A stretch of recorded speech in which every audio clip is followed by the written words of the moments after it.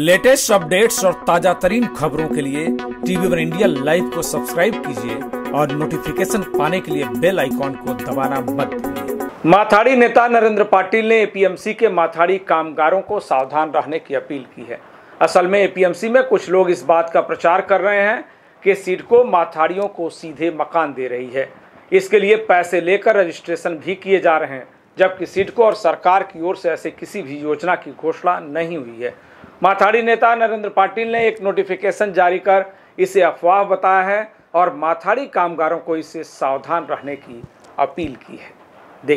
सिडको के mega housing योजना के घरों का आवंटन तेज हो गया है। हालाँकि अब इसकी आड़ में कुछ दलाल माथाड़ी कामगारों को फंसाने की फिराक में जुट गए हैं। एपीएमसी मंडियों में प्रचार जोरों पर है कि सिडको माथाड़ियों को सीधे घर देने की तैयारी में है।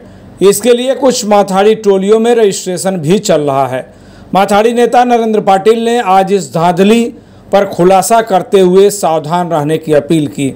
उन्होंने कहा कि माथाड़ी कामगारों के लिए मेगा हाउसिंग योजना में पाँच फ़ीसदी कोटा आरक्षित है, लेकिन सिडको द्वारा डायरेक्ट घर देने की कोई भी योजना नहीं घोषित की गई है। नरेंद्र पाटिल ने कामगारों से ऐसी किसी भी झूठी अफवाह या योजना पर विश्वास न रखते हुए सावधान रहने की अपील की।